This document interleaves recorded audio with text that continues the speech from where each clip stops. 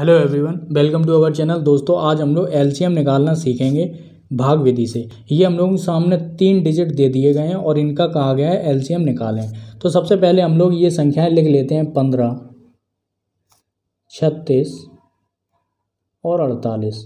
ये तीन संख्याएँ आपके सामने हैं। अब हम लोगों को इसमें भाग देना है किन का भाग देना है अभाज्य संख्याओं का भाग देना है। ठीक है दोस्तों? और पूरा पूरा जाना चाहिए इस तरीके से भाग देंगे। ठीक है दोस्तों? यहाँ पर दो है तीन है पाँच है सात है ग्यारह है और तेरह है। और अनंत तक होती हैं ये। ठीक तेरह के बाद सत्रह भी होती है उन्नीस भी होती है। ठीक है दोस्तों? तो ये क्या है? अभाज्य संख्या अभाज्य संख्याएँ क्या होती हैं? जो दो से कटे एक से कटे तीन किससे कटे? तीन से कटे, एक से कटे, पाँच किससे कटे? पाँच से कटे, एक से कटे। यानी कि भाग कटे मतलब भाग जाना। ठीक है, सात का किससे भाग जाएगा? सात से ही जाएगा और एक से जाएगा। ग्यारह का किससे भाग जाएगा? ग्यारह से ही जाएगा, एक से जाएगा। तो यहाँ पे आपको बात समझ में आ रही होगी। तो यहाँ पे देखिए, चार होती है तो चार का चार से भी दे सकते हैं, दो से भी दे सकते हैं, एक से भी दे सकते हैं। ठीक है दोस्तों तो ये भाज्य संख्या है, ये अभाज्य संख्या है। तो यहाँ पर हम लोग अभाज्य संख्या से भाग देंगे। तो सबसे पहले यहाँ पर डिजिट देख लेते हैं, ये सम संख्या है, ये सम संख्या यानी कि दो से चला जाएगा। ठीक है दोस्तों? तो दो का पंद्रह में जाएगा, नहीं तो हम लोग क्या करेंगे? पंद्रह इसी तरीके से लिख देंगे। ठीक है? दो का छत्तीस में देंगे, दो एकम दो और दो अट्ठे सोलह। कोमा लगाएँगे, दो दूनी चार, दो चौके आठ।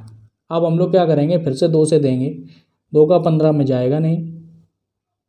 ठीक है? दो निम्न अठारह दो का चौबीस में देंगे, सीधा आधा कर देंगे। या भाग दे दीजिए, दो एकम दो दो दूनी चार। हम लोग अब करेंगे दो से फिर से। वैसे तीन से भी दे सकते हैं, पाँच से भी दे सकते हैं। ठीक है दोस्तों? पाँच या पंद्रह और तीन से भी चला जाएगा। तीन पचे पंद्रह, तीन तिरका नौ ठीक है दोस्तों? और तीन चौके बारह, तीन से भी चला जाएगा। लेकिन यहाँ पर हम लोग छोटी संख्या देख लेंगे। ठीक है दोस्तों? तो हम लोग पंद्रह ऐसे लिख देंगे। फिर नौ ऐसे ही लिखेंगे। और यहाँ पर लिखेंगे दोस्तों छः। दो छिंगे, बारह। फिर से हम लोग देंगे किससे? यहाँ पे दो है तो यहाँ पे छः है तो हम लोग दो से ही देंगे, ठीक है? तो यहाँ पर दो से देंगे पंद्रह। नौ। और दो तिया छः ठीक है, अब हम लोग तीन से दे देंगे, क्योंकि यहाँ पे अब दो से जाएगा नहीं। तो यहाँ पे तीन से पूरा पूरा सब में चला जाएगा, तीन बजे पंद्रह, तीन तिरका नौ और तीन एकम तीन। ठीक है, जब तक एक ना आता रहे, तब तक आप करते रहिए। ठीक है दोस्तों, अब यहाँ पे क्या है? तीन से फिर से देंगे, पाँच ऐसे ही लिखेंगे और तीन एकम तीन, एक को हम लोग ऐसे ही लिखेंगे। ठीक है दोस्तों, अब हम लोग क्या करेंगे? पाँच पाँच एकम पाँच, एक और एक। जब तक एक ना आ जाए, तब तक आप करते रहिए। अब इन्हें आप गुणनखंड कह लीजिए डिजिट कह लीजिए, ये आपका एलसीएम आ गया। ठीक है दोस्तों, लेकिन ये एलसीएम अभी अलग अलग है। इसको हम लोग गुणा करना पड़ेगा, तब आपका एलसीएम होगा। तो यहाँ पर क्या करेंगे? एलसीएम लिखेंगे। ठीक है? एलसीएम लिखेंगे, बराबर लगाएँगे। दो, गुणे दो गुणे दो गुणे दो। ठीक है? और गुणे तीन गुणे तीन और गुणे पाँच। ठीक है? तो यहाँ पर हम लोगों ने कर लिया तो दो, चार, यानी कि चार चार चौके, सोलह हो गया।